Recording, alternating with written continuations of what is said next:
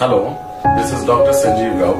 I am MDS in oral and maxillofacial and reconstructive surgery. I have been practicing hair transplant, lasers, cosmetic as well as aesthetic procedures since last 8 years.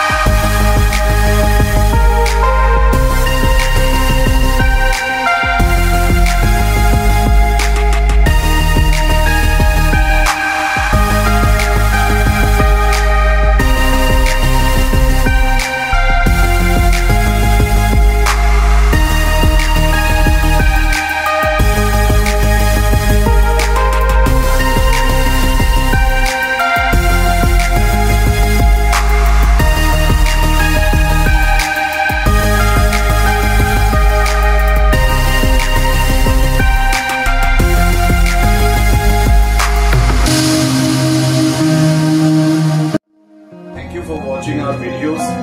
If you want more videos, do like, share and subscribe.